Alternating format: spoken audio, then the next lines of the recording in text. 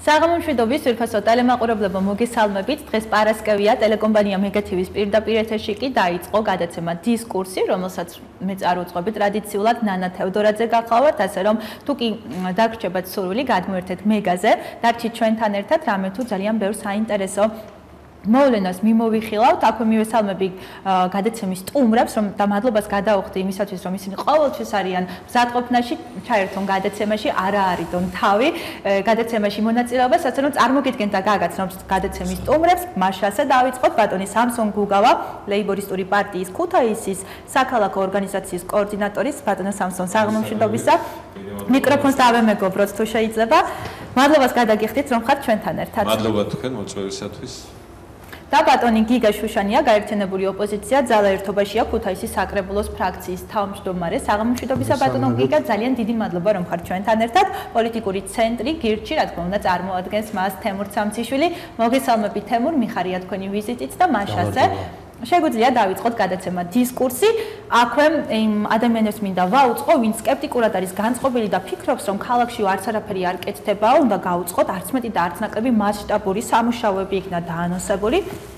აქედან ალბათ უნდა გამოვყოთ 10 ცენტრალური ქუჩის რეაბილიტაცია, რომლის ბიუჯეტი არც მეტი და არც ნაკლები 37 მილიონია. თუმცა რამდენად სწამს ჩემს ვირფას სტუმრებს იმისა, რომ ახდება ქვეყანაში ოცნებები, მით უმეტეს ქუთაისში და ამ მივიღებთ ძალიან კარგ რეაბილიტირებულ ქუჩებს, უბნებს და გვექნება მოკეთ ისურვილები რა მოლოდინებით ჩვენ გვაქვს, ალბათ გადაცემის სტუმრები უკეთ მოგვახსენებენ, იმისჯალებენ და შესაბამისად თქვენს თქვენი აზრი ჩამოგიყალიბდებათ. მაშასე ბატონო გიგა, დავიწყოთ თქვენი ხო? თუ საწინააღმდეგო არაფერი გაქვთ ამ კუთხით.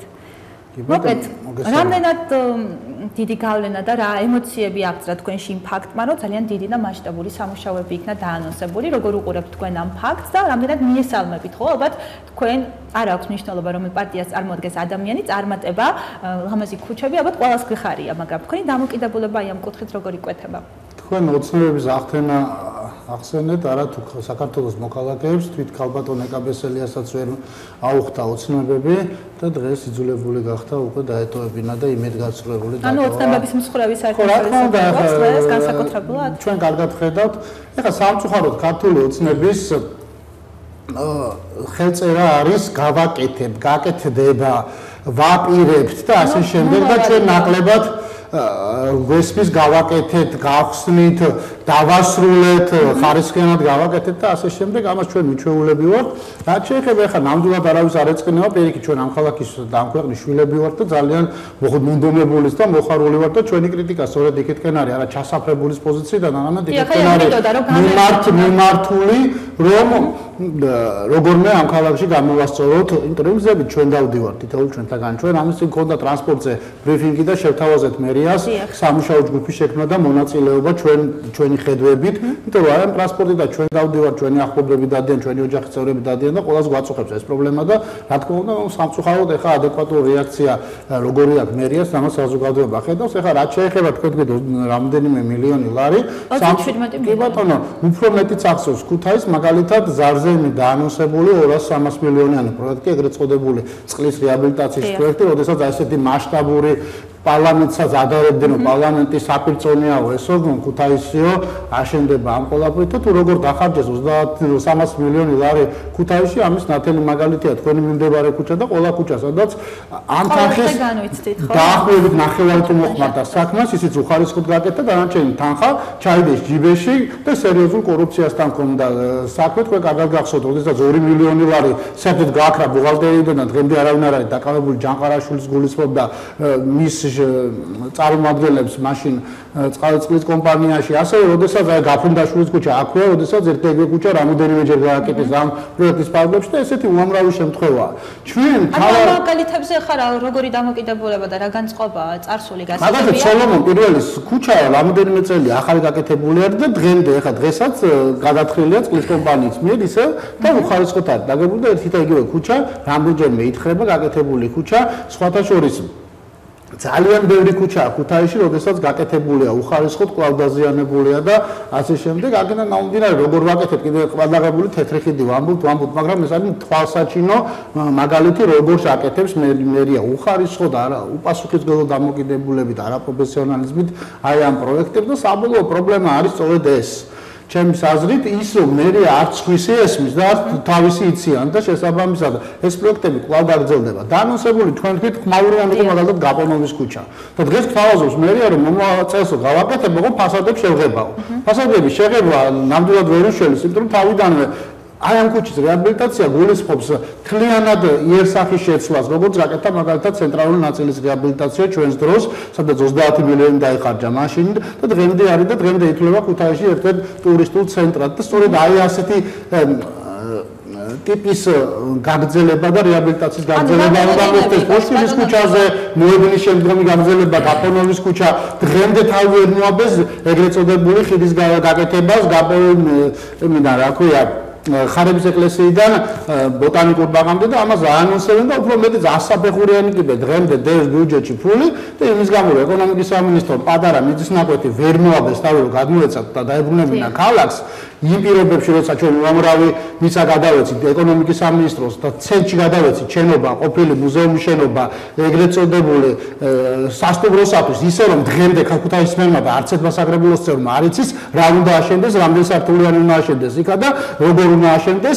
მათ გარეშე აი ესე პირობებში რა თქმა უნდა მე არა მაგ და მოლოდინები როგორი გაქვთ? ანუ სამწუხაროდ ძალიან ცუდი მოლოდინები. კიდე ერთხელ ვამბობ მე და ბატონ სამსონს და ევროპულ საქართველოს ერთად ხონდა ბრიფინგი ჩვენ ქალაქსაც შევთავაზეთ და მათ შორის ქართულ ოცნებასაც გამოსავალი ეს იყო ქუთაისის მერის გადაყენება წასვლა თანამდებობიდან ბადამდელი არჩევნები და ახალი სისხლის მოსვლა ქუთაისში იმას ვისაც ქუთაისელები გადაწყვეტენ იმიტომ რომ ამ ადამიანებს არანაირი რესურსი ამ ქალაქის გაკეთილშობილების არ გააჩნია არც ცოდნა არც გამოცდილება არც სურვილი და შესაბამისად არც დამოკიდებულება არ გვაძლევს. ჩვენ დაიმედების საშუალებას მე მგონია რომ ქუთაისის სამწუხაროდ კვლავ გადათხილი ქუჩების ქალაქად დარჩება. მადლობ ბატონო გიგა, ჩემს სურფას ტელემაყურებლებს უნდა ვაუწყოთ ის ფაქტი, რომ ინფრასტრუქტურის სამსახურის უფროსი და მისი მოადგილე დაუპატიჟეთ, მოვიპატიჟეთ, მონაწილეობა მიიღოთ გადაცემა დისკურსში, მაგრამ თქვენთან ერთად მონაწილეობის მიღებაზე თავი შეიკავეს, აუცილებლად უნდა გავაშღეროთ ყოველთვის სიმართლე და ვიყოთ ზედმეტად ობიექტურები და თემურ მოგესალმები კიდევ ერთხელ. მოდი თქვენი დამოკიდებულება გაგვიზიარეთ ცენტრალური ქუჩების რეაბილიტაციასთან დაკავშირებით. რა მოლოდინები გაქვთ და რამდენად გწამთ რომ აი ამ კუთხით მივიღებთ ხარისხიან რეაბილიტირებულ ქუჩებს. გამარჯობა მადლობა მოწვევისათვის. ცოტა შორიდან დავიწყებ. ნუ გასაგები ახლა კარგად ჟღერს ინფრასტრუქტურაში და ინფრასტრუქტურის ასეთი რაღაც მილიონების რა ხარუხი და ამდენი ქუჩა გაკეთება და ამდენ ფულს დავხარჯავთ ქუთაისისთვის ნამდვილად კარგად ჟღერს. ანუ თქვათ რომ ჩვენი თავარი პრობლემა არის ის რომ ჩვენ ცხოვრობთ ღარიბ ქვეყანაში. და ღარიბ ქვეყანაში ქუთაისი არის კიდევ უფრო ღარიბი ქვეყანა. ჩვენ არასდროს არ ქონია ხა ესეთი წარმომადგენლობითი დემოკრატია ქვეყანაში რომ რაღაც ინსტიტუტები თქვათ ქონოდა დამოუკიდებელი სასამართლო ხელისუფლება საპარლამენტო ხელისუფლება აღმასრულებელი ხელისუფლება.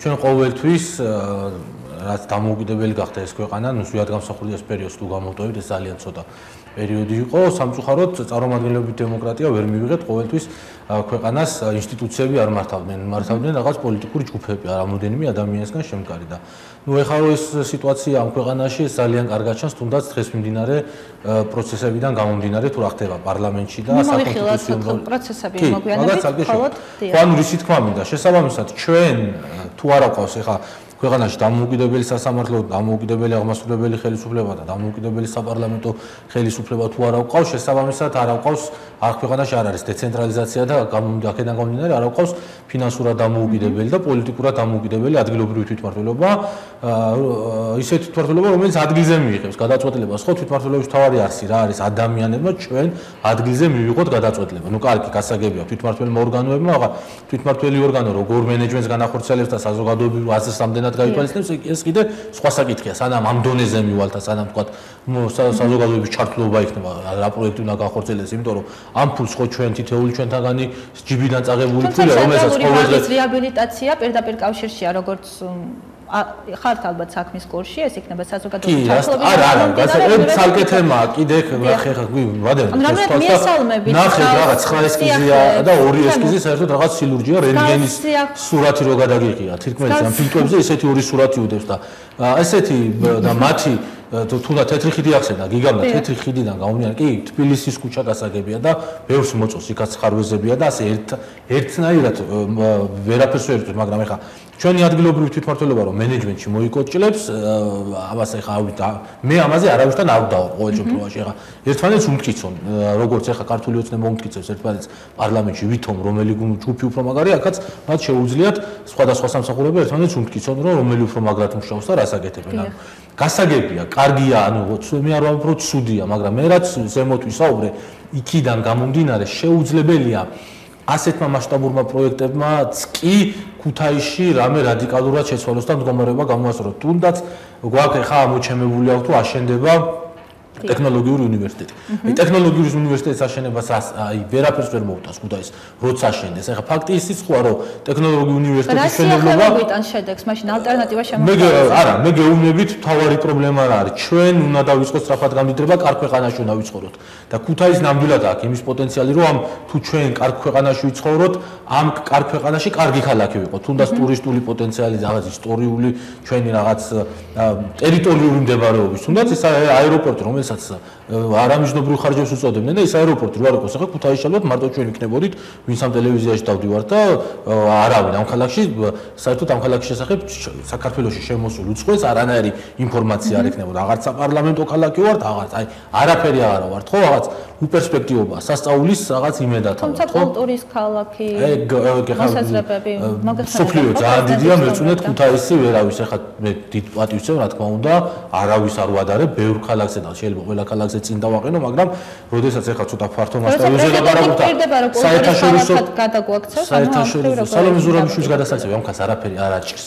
სხვა რამეს ვამბობ, ანუ როდესაც ტურისტი მოდის ქვეყანაში, როდესაც ტურისტი მოდის ქვეყანაში, ტურისტს უნდა კონდეს ადვილად რაღაც ანკესი, თებზაობა, ხო იცით, ადვილად უნდა მოდიოდეს ეხლა სად ტურისტი ხა საწაი გითხავს არგონავტებზე და საწაი გითხავს პირველ სკოლელებზე და კაი ხო გას ეგ საკუთარიში არის ის ბევრმა შეიძლება ხო და ჩვენ უცხოეთთან შემოსულ ტურისტს ამას ვერ მოვთხოვთ ჩვენ ტურისტს უნდა დაუგდოთ ისეთი ლუკმა რომელსაც პირდაპირ გადაყნებას ეს საპარლამენტო ქალაქი ძალიან კარგი იყო. იმ წუთშივე ინტერესად შენდა ხო? რო ჩამოდიხარ ქვეყანაში მოფრინავს საპარლამენტო ქალაქში. ერთი დღე მაინც გაჩერდები ხო? ანუ ფსიქოლოგიურად ფიქრობ რომ რაღაცა მნიშვნელობის კონე ქალაქში მიდიხარ და ის რაზეც ხო საუბრობთ ამის გასწრება მე შეიძლება რა თქმა უნდა როდესაც ქუთაისში ტურისტი შემოვა და ჩამოვა. დაგიბრუნდებით, რა თქმა უნდა, ბატონო სამსონ. თქვენი დამოკიდებულება. სიახლეებისადმი და თქვენი ასე რომ ვთქვათ, აქცია, რომელიც სკეით პარკის უხარისხო სამუშაოებთან იყო დაკავშირებული. მოდი გავიხსენოთ ეს დღეც ხო? და შეგვიძლია უფრო წარსულიდან დავიწყოთ, თუ კი სურვილი გაქვთ. მოგესალმებით, მოგესალმებით თქვენ ერთგულ ტელემაყურებლებს. რაც შეეხება ჭიღვარიას მერობის ყოველი დღე, მე ვფიქრობ, რომ არის დანაშაული. ბატონმა გიგამ ახსენა კიდევაც ჩვენ ერთობლივი მიმართვა გავაკეთეთ მისი თამდევიდან გადადგომის შესახებ, რადგანაც მისი განხორციელებული ნებისმიერი პროექტი პრაქტიკულად აღმოჩნდა ხარვეზიანი, დაწყებული თეთრეხიდიდან, გაგრძელებული თუნდაც სკეიტბორდები, იგივე სკეიტბორდის მოედანი, რომელიც მან თქვა რომ ეს არის ევროპული ტიპის, ევროპული ხარისხის შესრულებული და 4 თვეს ვერ გაუძლო ხო წარმოგიდგენიათ. გაგრძელებული ასევე მარტივი ტიპის მოედნები გააკეთეს 9 მილიონ ლარამდე დახარჯული და პრაქტიკულად 2018 წლის ბოლოს მოხდა მის ჩაბარება და უკვე მისი ამორტიზაცია დაწყებული, ანუ ვერ უძლებს ვერანაირ კრიტიკას. გაგრძელებული იგივე თუნდაც გზები, ნიკია ავანგარდის შემეერთებელი ტრასა და უფრო თავი და თავი რასაც მინდა შევეხო ეს არის როცა როდესაც თქვენ თქვით რომ 37 მილიონი ლარის სარეაბილიტაციო სამუშაოები უნდა განხორციელდეს ქალაქში, გარკვეულ წილად ჩვენმა მოწოდებამ შედეგიც გამოიღო ეს არანდვეს ადგილობრივ თვითმართველობას და ამას შეასრულებს საგზაო დეპარტამენტი. ეს იმას ნიშნავს, რომ ჩვენ მოწოდება გაითვალისწინეს, არ შეიძლება ჭიღვარიას როგორც ბაუს თივის ზვინთან ასანთით ხელში დავტო დაახლოებით ასეთი მდგომარეობა გვაქვს რომ ჭიღვარი არ შეიძლება ბიუჯეტთან ერთად დავტოთ დიდი ეჭვია იმისი რომ ის კორუფციულ გარიგებებშია შემსრულებელ კომპანიებთან.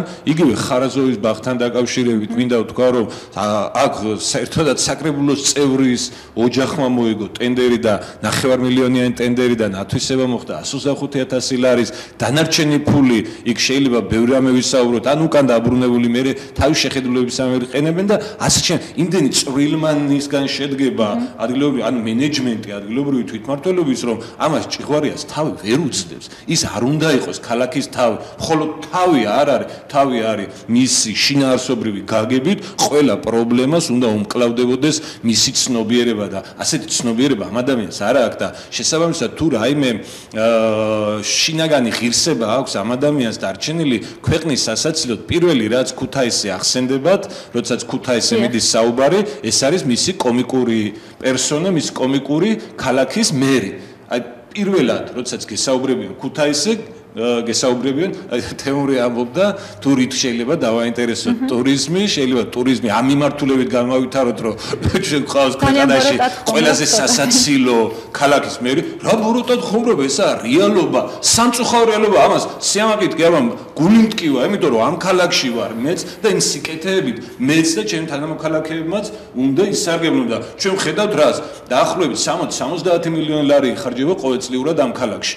აი გავიდეთ ბიუჯეტი ბიუჯეტის ხარჯვის მთავარი ინდიკატორი არის მოსახლეობის კმაყოფილების დონის განსაზღვრა, ხო?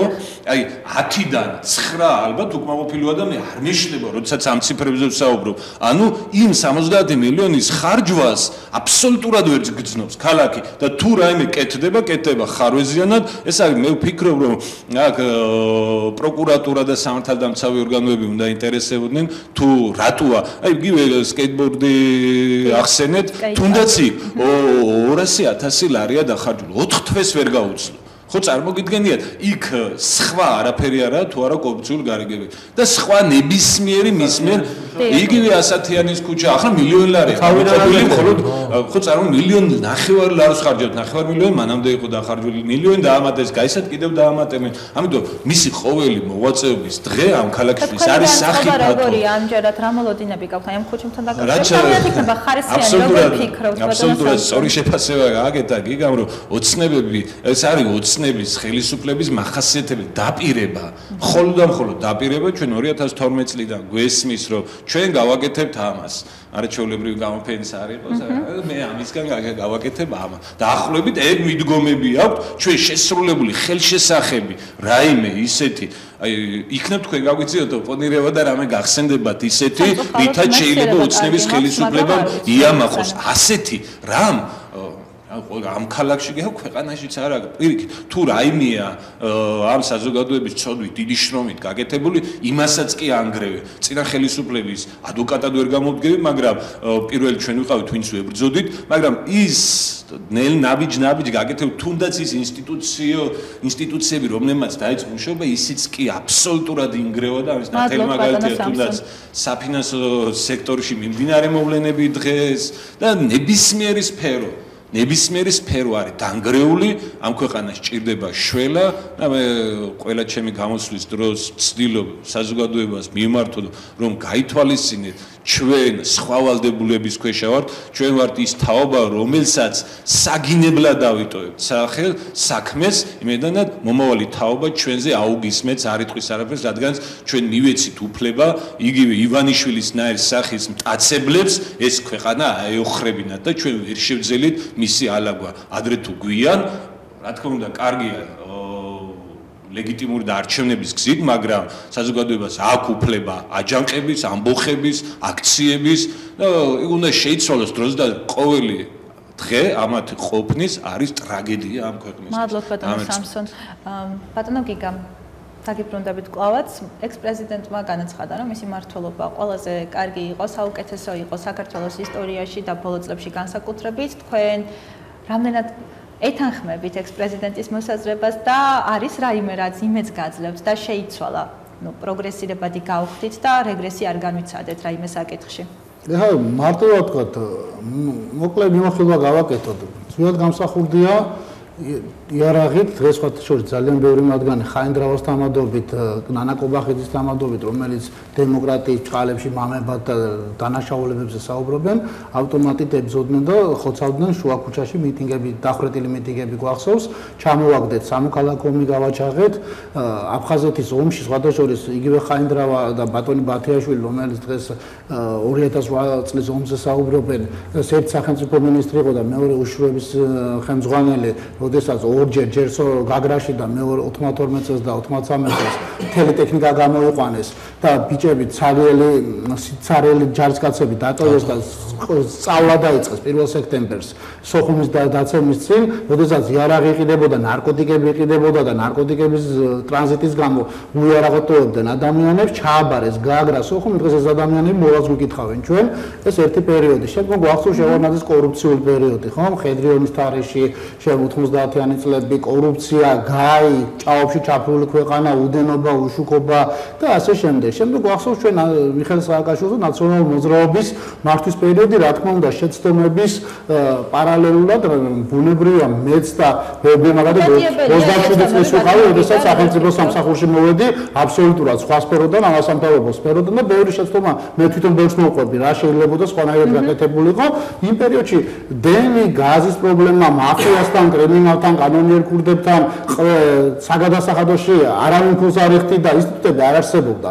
ამ ინსტიტუტების ამ კრიმინალურ მაფიოზულ კლანებთან ბრძოლა, შემდგომ ინსტიტუტების შექმნა იორი არ იყო, ეს შეიქმნა დღეს ასუღურებთ ქართული ოცნების პირობებში, როდესაც აბსოლუტურად მოშლილია სახელმწიფო, მოშლილია სახელმწიფო ინსტიტუტები, დაბრუნდა კორუფცია, დღეს დაიჭირეს სხვადასხვა მართვის მოწყობისათვის ქთამი აიღო და თვითონ მოუწია, ქარეს დაიჭირეს ერთი ადამიანი, თორე ყველა მასიურად ხდება მართვის მოწყობის კონკრეტული თანხის სანაცვლო დაღება საზოგადოება ამაზე საუბრობს და ძველი გარის პერიოდი დაბრუნდა საქართველოში, ბევრი ამიმართულები დაბრუნდა, ფაქტობრივად რუსები, დავალებით ანაკლიის სპორტი გავაჩერებ ბიზნესზე მიმდინარეობს შეტევა მამუკა ხაზარაძის მაგრამ მარტო მამუკა ხაზარაძე არა.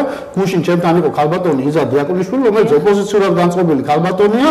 აქ მედი პორტე ქონდა ერთი შეპესე რომელიც ბავშვებს ამზადებდა. 2010 წელს აიღო იჯარით მერიისგან შენობა. გაარემონტ გაარემონტებიეს 4 წელი ქონა დარჩენილი და 2018 წელს მერია ისე გაუყიდა სხვა პიროვნებაზე არც გააგებია.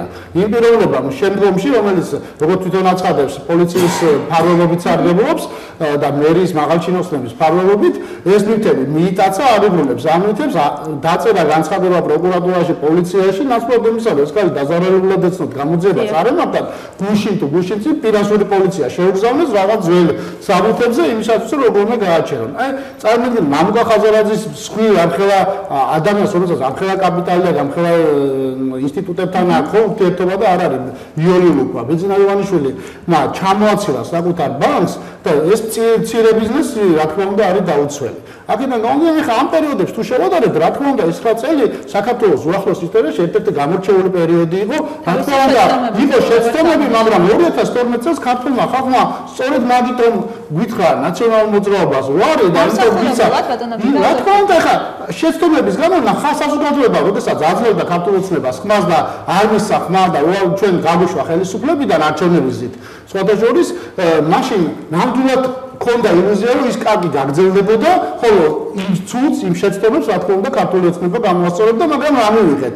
ცუდი გაასმაგდა მივიღეთ პოლიტიზირებული პროკურატურა პოლიცია სასამართლოში რა ხდება თქვენ თვითონ ნახეთ და ქართული ოცნების შიგნითაც მიმდინარეობს ახლა თვითონაც არ მოწონთ ხო ეს რაც ხდება ჯიბის მოსამართლეები კორუფცია მივიღეთ რომელიც ნამდვილად არ იყო სასამართლოში თუ ვისაუბრებთ პოლიტიკურ რაღაც ზეწოლაზე და ასე შემდეგ კორუფცია ნამდვილად არ იყო წლის პერიოდში სასამართლოში და ვერავინ ამას ვერ იტყვის შვეიცარიის ეთში რო გამოაცხადებს რომ თქვენ სასამართლოში კორუფცია და ჩვენ ბიზნესმენებს ფულს ძალავენ მოსამართლეებიო ამაზე დიდი სკანდალი არ არსებობს რა თქმა უნდა, კიდევ ერთხელ მოგდა ეს ყველაფერი, კარგი გაასმაგეს დაასახლეს საკუთარი აქტივისტები და ქვეყანა საკუთარ საძოვრად გაიხადეს ბიძინა ივანიშვილმა მინი შეპესე დაარსა იმიტაცებს აკიდულოს ბიცებს აკიდულოს ბიზნესებს. ეხა დარწმუნებული ვარ საქართველოს ბანკის ჯერი დადგება თუ ეს რა თქმა უნდა საზოგადოება ამის ნება მისცა ბიძინა ივანიშვილს და ყველა ფინანსური ინსტიტუტის მიტაცება უნდა. აი ამ ფონზე ბუნებრივია რა თქმა უნდა ეს 9 წელი ერთ-ერთი გამორჩეული იყო საქართველოს ისტორიაში. თემურ ეთანხმები თუ არა ბატონო? ძალიან მარტივად ისტორია არის ძალიან მარტივად ასაკში გამორჩეული. შევხედოთ. მოდი თქვათ პრობლემა რა იყო და რა არის ახლა თქვათ რა მოხდა 2003 წელს საქართველოს ეკონომიკა იყო 3.5 მილიარდი დოლარი. 2012 წელს ქართული საქართველოს ეკონომიკა იყო 15.8 მილიარდი დოლარი. 2012 წლიდან 2000 აი წლევანდელ წლევანდელ შედარებით საქართველოს ეკონომიკა ეხ არის 15.0 15.3 მილიარდი დოლარი. ანუ შემცირებულია. აა თავრობის ვალი მთლიანში და პროდუქტთან მიმართებაში იყო 34% 2012 წელს. ეხლა არის 54% და წელს აპირებენ ყველაზე დიდი ვალის აღებას რეკორდს მოხსნიან. და შესაბამისად ახლა იმაზე ლაპარაკი თუ ეს რომელი პერიოდი ჯობდა, ყველაზე კარგი ამის საზომი არის საქსტატი, ამას ჩვენ არ ვითვლით, ამას ითვლის თვითონ საქართველოს სააგენტო საქსტატი. ანუ იმაზე ლაპარაკი ახლა თავარი პრობლემა როგორც წინა ხელისუფლების და ამ ხელისუფლების იყო ის რომ ჩვენ არ ქონდა წარმომადგენლობითი დემოკრატია. ჩვენ კი გასაგებია რომ ინსტიტუტები მაშინ უფრო ძლიერად მუშაობენ, მაგრამ არც მაშინ არ ყავდა ჩვენ დამოუკიდებელი სასამართლო, არც მაშინ არ ყავდა დამოუკიდებელი პარლამენტი და არც მაშინ არ ყავდა დამოუკიდებელი აღმასრულებელი ხელისუფლება. თან სოფლიოში ტენდენციაა, რომ საპარლამენტო ინსტიტუტი რაღაც მეორე ხარისხზე გადადის და უფრო წინ აღმასრულებელი ხელისუფლება მოდის. ამის ტენდენცია არსებობს ეხაც. მინდა კიდე შევეხო ეხა რა ხდება ზუსტად პარლამენტში მოვლენებს. ანუ თუ ჩვენ 2012 წელს საზოგადოებამ რაღაცას უთხრა უარი, აა სინამდვილეში უნდა მიგვეღო უკეთესი მდგომარეობა, როგორც ეკონომიკურად, ასევე ვთქვათ, აა დემოკრატიის კუთხით, ხო? და რატომ ვერ მივიღეთ? ვერ მივიღეთ ძალიან მარტივი მიზეზების გამო, იმ პოლიტიკის გამო, რასაც ქართული ოცნება ატარებს, ეკონომიკაში ვერ მივიღეთ იმის გამო, რომ აა ვატარებ სულელურ ასე ვთქვათ, ეკონომიკურ პოლიტიკას, აა ვცდილობთ რაც შეიძლება მეტი ფული წავართვათ ადამიანს და მაგალითად ბოლოს ახლა საპენსიო რეფორმა რო გავიხსენოთ, მარტო ეს რეფორმა კარგა, ვარგა და საბანკო რეგულაციები, ეს რას მოგვიტანს კიდე არავინ არ იცის, რამოდენიც მე მე წელიწადში რა ეკონომიკური მდგომარეობა იქნება. ქვეყანაში და დოლარი. ეს გამოაცხადოს რომ 1 მილიონი ლარი უნდა დახარჯო მარტო საინფორმაციო კამპანიაში. საინფორმაციო კამპანიაში ჩვენ ვართ მე ფულს და 1 მილიონ კამპანიას კამპანიას ანუ 1 მილიონ ლარს დახარჯავენ იმის გასწრებაში თუ ჩვენ რო ფულს გვართმევენ რომ კარგი არის აი ამას გამოვლენ და დაგვიქისებენ რომ ხელფასი გვეჭრება 6% და 6-ვე ჩვენია სინამდვილეში ეს რო კარგი ამას 1 მილიონი თუნდა დააგიწონ და ეროვნულ ბანკს ეხვერწებიან ორი კვირა დაგვიგროვდა 40 მილიონი ლარი და საწავიყოთ ეს ფულიო. 600000 ლარი გაიავდა უკვე ეს ფული. ამ პერიოდში ფული თუ არ დააბანდე მუთაქაში ასე გამოვიდათ მუთაქაში შეინახეს და არის ეს ფული საწავიყო ნუ ამას გარდა უამრავი ის მიდგომა ხალი შემშალი ფაქტია. და ვიშკი გამოიწვევენ და ის კაპიქს არ დატოვებ. ხო, მათი ვიცი. ხო, ხალი შემშალი ფაქტორებიც. ანუ რა შეიძლება მეორე მეორე ანუ ინსტიტუციური პრობლემა, ანუ რა თქმა უნდა ვერ მივიღეთ ვერც დამოუკიდებელი სასამართლო, ვერც დამოუკიდებელი პარლამენტი და ვერც აღმასრულებელი ხელისუფლება. ისე მივიღეთ აი რასაც ახლა პარლამენტში ხედავთ, რაღაც კლანი, რომელიც თილობს 10 კაციანი ჯგუფი მაქსიმუმ ალბათ, რომელიც თილობს დაალაგოს სასამართლო, დაალაგოს პარლამენტი და დაალაგოს აღმასრულებელი ხელისუფლება. გაჩნდა ისე რკინის კაცი ამ ახალი შინაგასაფრთხო მინისტრის სახით.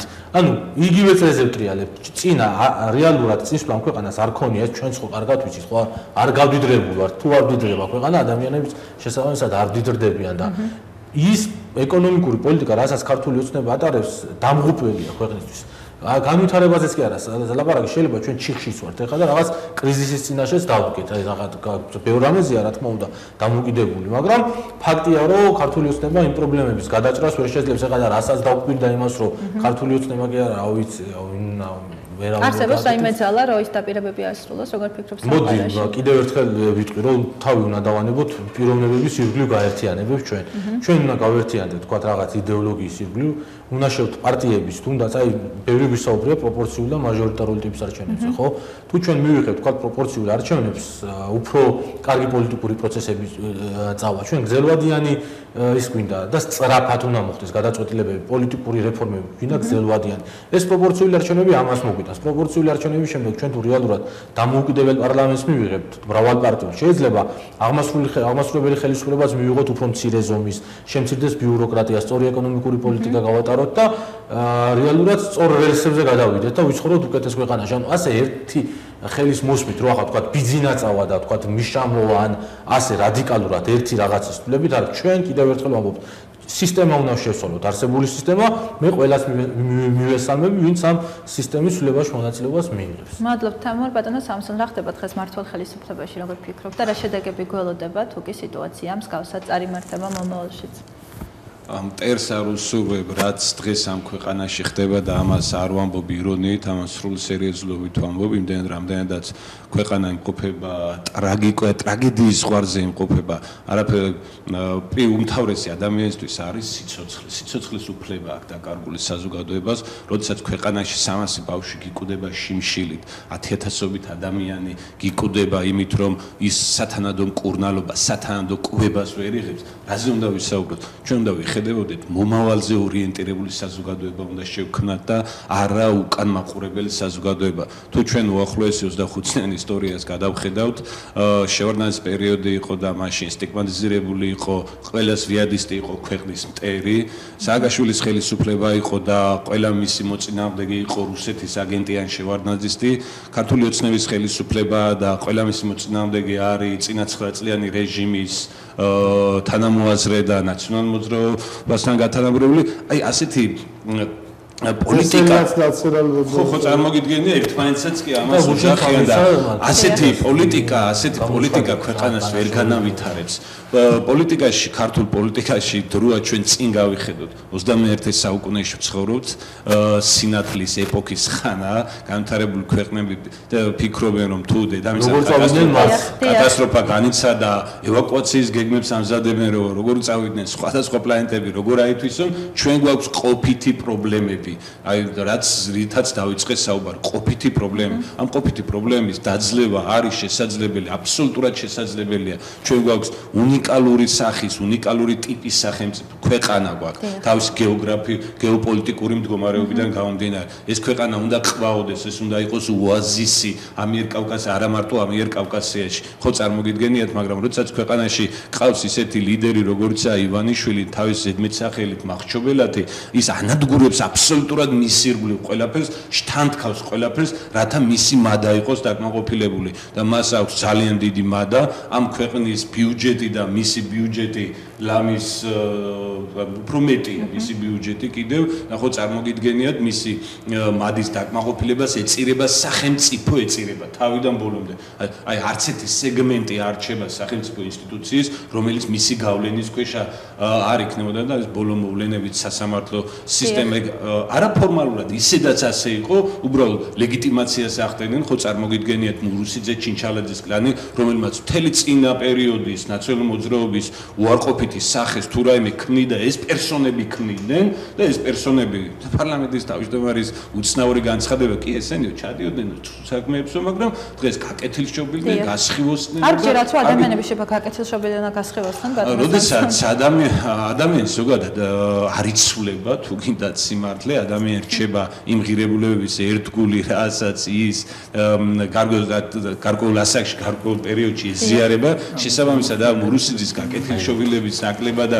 ანუ ის ჩვეულებრივად არის ტიპიური ფუნქციონერი რომელიც ექვემდებარება გარკვეულ კონიუნქტურას. ის არის შემსრულებელი და ის შეასრულებს ნებისმიერ ბინძურ დავალებას. ნებისმიერ ბინძურ დავალებას და ეს არა ეს არის ერთი შემთხვევა. ამ შემთხვევებით განზოგადებული შეიძლება ივანე პეტრიცონელის არ იყოს ერთი კარგად ეფინება გაშლის სიმრავლეს. ანუ ეს ერთი საკმარისია, რომ არსებული მდგომარეობა შეაფასოს და არსებული მდგომარეობა არის საგანგაშო და კიდევ ერთხელ როგორც პოლიტიკურ კლასს ისე საზოგადოებას გმართებს დიდი ფიქრი იმისა, რომ ჩვენ ეს ადამიანები არ მივიყვანოთ თავის კონსტიტუციურ ვადამდე, ესენი უნდა გაუშვათ. მანამ სანამ ქვეყანას გადარჩენა ჯერ კიდევ არის შესაძლებელი. მადლობთ ბატონო სამსონ, ბატონო გიგაშა ვაფასოთ ხო ჩვენი პრეზიდენტის, ხალბატონი პრეზიდენტის ევროპული ვოიაჟები.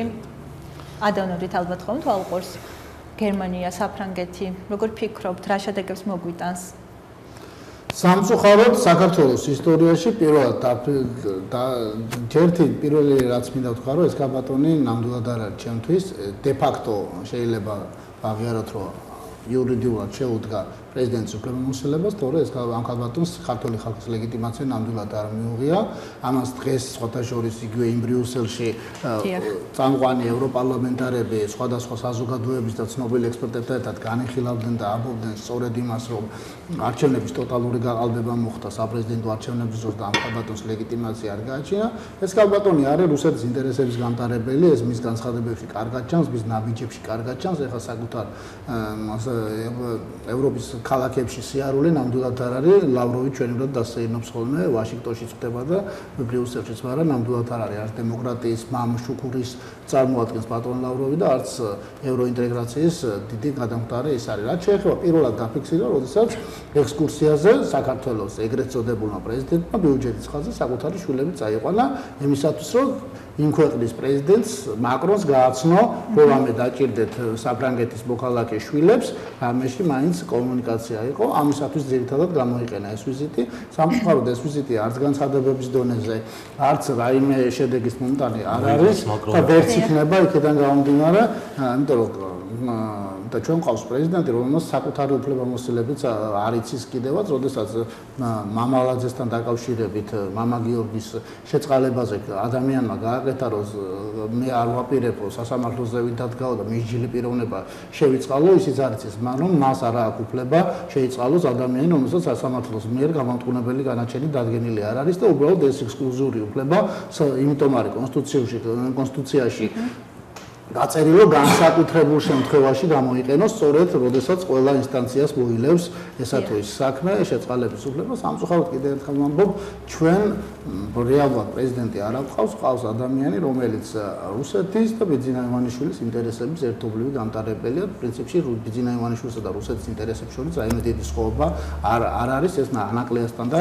ხაზარაძესთან დაკავშირებით ნათლად გამოჩნდა ბოლოში და კიდევ ერთხელ დადასტურდა ერთი ჩვენი რეალობა ხო არც ისე საფრანგეთის მაგრამ დღეს პარასკევია და ხვალ უქმეები იღებს დარც და იქნებ ცოტა პოზიტიურ და რაიმე იმედის მომცემ ფაქტებს ვისაუბროთ ბატონო ძეფასო სტუმრებო პრეზიდენტს ნაკლებად ხე პოზიტიურად რა უნდა ვთქვათ ხო არა სალომეს ვიზიტებს ავთ ეს როგორც შალალატელაში ვთქვა მითი ბოროტები და სალომეს საგებ წინა. არა სალომეს ეს არის ეთადები და პროტოკოლური ვიზიტებია ხა სადღაც წასულიყო ხო? პირველი ვიზიტი იყო ბრიუსელში არავის აქ არაფერი გასაკვირი არაა და ამით არც არაფერი რადიკალურ ცვლილებებს არ უნდა ველოდოთ.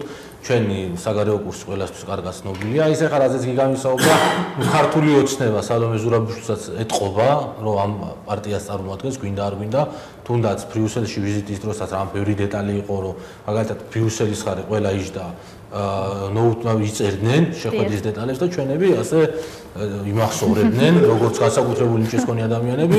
ნუ ეხლა შვილებთან ერთად რო დადის ეგ კიდე რაღაც მესი არ არის ისეთი მესიჯები, რომელსაც ტრადიციული დიპლომატიური რაღაც ურთიერთობები ქვია და ძალიან ბევრი დიპლომატიაში ძალიან ბევრს ნიშნავს გიგამას თქო რომ შვილებთან ერთად ვართ ექსკურსიასავით გამოვიდა, წავიდა, ჩააკითხა საფრანგეთის პრეზიდენტს. ხო არა, ბრიუსელს ესე თყობოდა და რეალურად ახლა ეს ჩვენ რო ვთქვათ რომ სალომე ზურაბიშვილის ვიზიტება აი რადიკალური ცვლილებები მოახდინა ჩვენი რაღაც სიახლეა, მაგრამ არაფერი სიახლე არ ამას მარგველაშვილიც დადიოდა, ხო?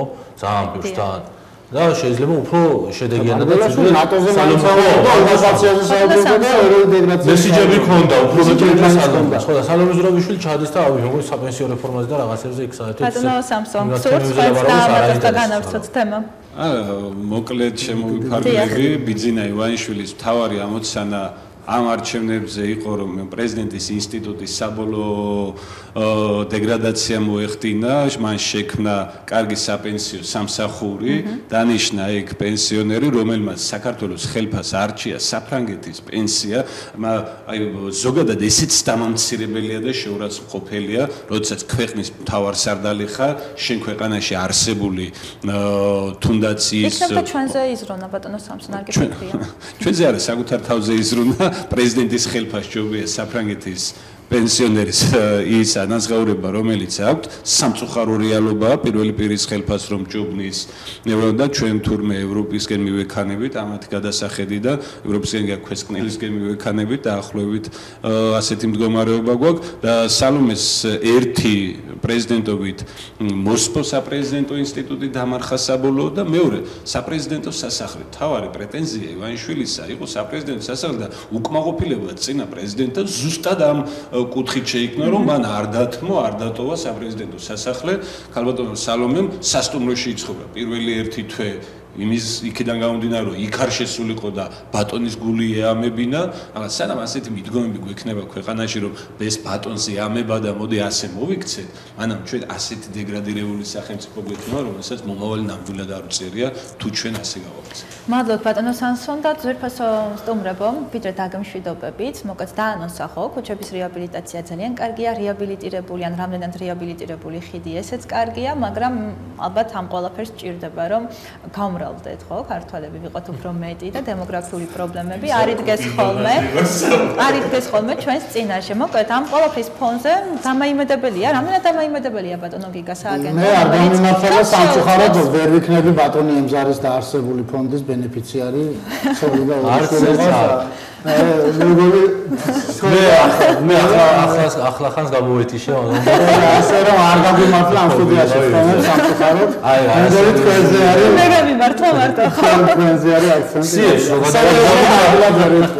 ემზარ პეცია გუშინ იყო ცნობილი ანეკდოტი წავიკითხე საკაური იყო ერთ-ერთი ნიუსის ემზარ პეციალი მორი კანონ პროექტზე მუშაობს. ნამდვილად ესეთი ანეკდოტი შეიძლება იყოს რა ემზარ პეცია და კანონ პროექტი რა ვიცი. როგორ ფიქრობთ ბატონო სამსო შეუწყავს დემოგრაფია მოხდება ახალგაზრდა წყვილები იპოვიან ერთმანეთს და გამრავლდებით ვიქნებით უფრო მეტი და როგორად რატო ამ მიმართულებით ამ მიმართულებით სანამ ასე დაუკიდებულება გვექნება. რა კაგნატაზე მინდა დასრულება. ასე დაუკიდებულება გვექნება რომ ემზარ პეციის შექმნის სააგენტოს რომელიც ხელს შეუწყობს წყვილების დაოჯახებას. მან ამ სასაცილო სიტუაციაში დიდხანს მოგვიწევს ყოფნა თუ ჩვენ გვინდა მართლაც გენოფონდს მივხედოთ და მის გაუმჯობესებაზე ვიზრუნოთ ამ მიმართულებით სერიოზული პროექტები უნდა ხორციელდებოდეს ქვეყნის ბიუჯეტიდან უნდა ფინანსდებოდეს განათლება ყველა საფეხურზე, უნდა ფინანსდებოდეს წარმატებული ადამიანების განსაკუთრებული დაფინანსება, უნდა იქნებოდეს სამუშაო ადგილები და არანაირად არ დაჭირდება ადამიანებს ემზარკვიციან შუამავლობა იმისა, შექმნან ოჯახები თუ დაძლიდნენ. შეყარებული წყლების აღრიცხვა, თამო. შენს აი ნუ მოდი, ეს ეს ადამიანი. ვიდრე დაოჯახდები, თან ბატონთან გავუკაცნიერდები და კითხავ, ჯერ დაოჯახდებოდი და თუ კი ეს იდეა ადრე დაებადებოდა ემზარკვიცია, ასე რომ პროექტით თუ დაინტერესდებოდი ან ბატონ ემზარს რო აღერიცხეთ, ვითარცა შეყარებული წყალი, როგორ იქნებოდა შენი დამოკიდებულება? ემზარისიაში რომ მოწყვეტი, რა? გააჩნია, რამდენს დამერიცხა და ფუც.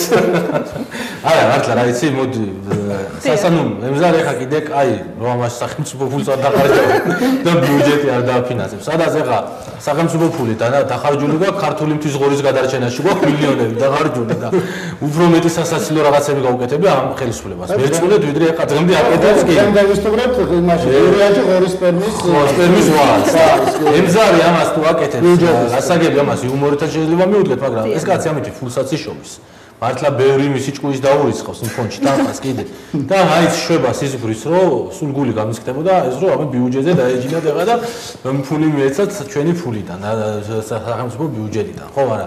აუ ეს ახლა თვითონ ხო თქვა რომ ბატონი ბიზნესგან 100 მილიონს ველოდებიო და ბიზნესა თუ 100 მილიონს დაურიცხავს რა მე მგონი ყველას დააქორწინებენ და იგი ხდება ბატონო კი თქვენ რომ არ ყოფილიყავით დაოჯახებული მსგავსი სააგენტო რამდენად ჩაკისახავდათ იმეც რომ იპოვიდით თქვენს გულის სწორს და მეორე ნახევარს აა ეს დახმარება ამჭირდებოდა არასდროს მე თვითონ ზუსტად პოულობდი და ეხა საერთოდ ბეჭედის სტარება დისკომფორტს მექნის სკოლა მაგრამ უნდა გავიკეთო უცინად მე ეს და ხაფეში ვედაზდები სადღა აგებულობდეს ვინმე აგენტი და ანკეტა არ შემომაჩეჭო ძალით ეს ისეთი საგებულო და უზრუნველად დაგაფიქროს. ამაზე ფიქრობ გაცდუნოს ხო თემა? მოკლედ ძალიან დიდი მადლობა. დიდი მადლობა. დიდი მადლობა რომ იყავით ჩვენთან. მაინც საწადელი ავიხთინე და პოზიტიურად დავიმშვიდობეთ იმიტომ რომ ალბათ იუმორი და კარგი დადებითი განწყობა არის ის რაც კრიტიკულ სიტუაციაში თვით გადარჩენაში გვეხმარება ასე რომ მშვიდობიანი ღამე მინდა გისურვოთ, მშვიდობიანი უქმეები და მორიგ საერთო შეხვედრამდე დაგემშვიდობებით. მადლობა თქვენ მოწვევის. ძირფასად ტელემაყურებლებო დღეისათვის გადაცემა დისკურსი ამით დასრულებულია. ზუსტად ერთ კვირაში დაგიბრუნდებით და კიდევ ერთხელ შეგახსენებთ, რომ გადაცემის სტუმრები გახსნენ ლეიბორისტული პარტიის პროფაისის საქალაქო ორგანიზაციის კოორდინატორი ბატონი სამსონ გუგავა. ბატონი გიგა შუშანია გაერთიანებული ოპოზიცია ძალა ერთობაშია ქუთაისის საკრებულოს ფრაქციის თავმჯდომარე და პოლიტიკური ცენტრი გირჩის წარმომადგენელი ბატონი თემურ სამციშვილი ძალიან დიდი მადლობა ყურადღებისთვის ბედნიერ უქმეებს და მშვიდობიან ღამის გისურვებს თქვენ და გადაცემა დისკურსის როგორც აღნიშნე ზუსტად ერთი კვირით დაგიბრუნდებით კიდევ ერთხელ მადლობთ ყურადღებისთვის. ნახვამდის